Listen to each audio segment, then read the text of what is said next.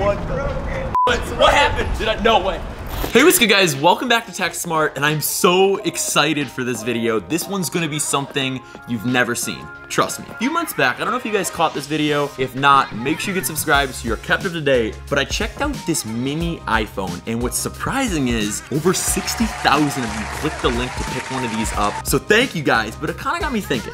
This phone's cool, but what would be cooler is a phone that has more features, more tech, is up to date in 2018, and I think I found it. So what I'm about to show you is just that, and you are about to be blown away. And let's just get into this thing. It's in this tiny box. Like most smartphone boxes are huge. They're the size of a house. So at the top, you got your SIM tool, pretty basic. So this is the Atom the world's most rugged, small phone. I mean, there's so many things I could tell you. So let's just get into what this phone is packing. The screen is HD, 1080p screen. On the front, right up here, is an 8 megapixel camera. On a phone this small, that's like selfie quality of the iPhone 10. There's a fingerprint reader at the bottom. A fingerprint reader. This looks like the OnePlus 2 fingerprint reader. I mean, a fingerprint reader on a phone this small.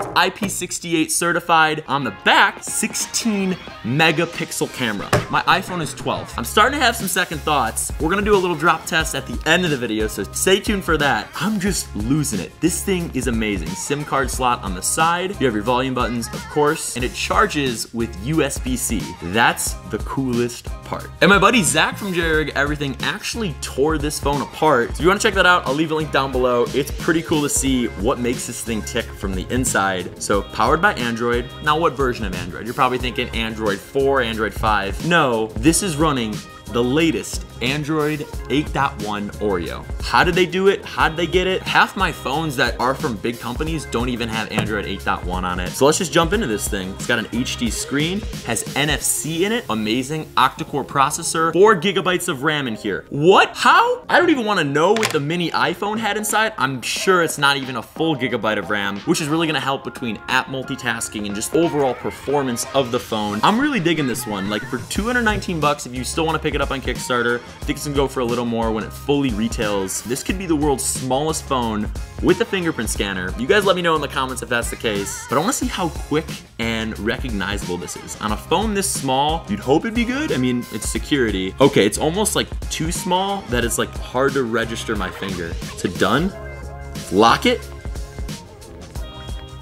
Oh boy. I feel like I gotta just learn where to place my finger. Give me a few days. I mean, wait, I don't, that sounded a little crazy. Let's take that back. With this phone, they've been able to pack some pretty big specs and stuff that you'd find in a seven, eight hundred, nine hundred dollar phone in a form factor like this with all this goodness for 219 bucks. So you guys might have known this, but the Atom, the original one, the first phone of these, raised over a million dollars on Kickstarter, and the Atom here is at the same. Over a million dollars is pledged to this thing. So let's put it to the test. Let's see if they're actually about it and they're real.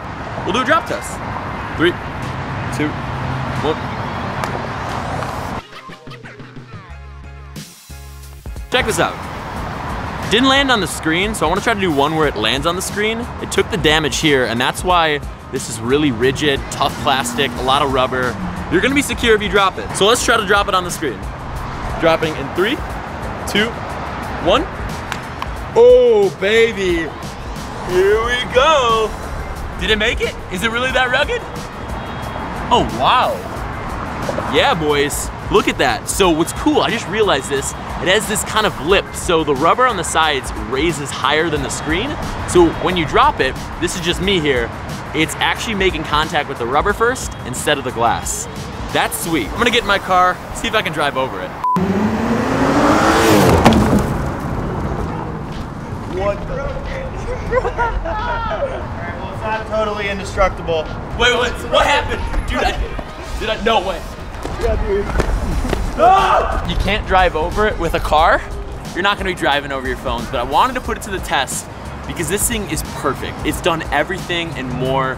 It is so durable. I could actually see myself using this instead of a smartphone, which is kind of crazy because this is a smartphone. It's just a different type of one. So that's it for this video. Hope you guys enjoyed. If you did, make sure you get subscribed by clicking that circle button. Check out some other videos. I'll see you later. Peace.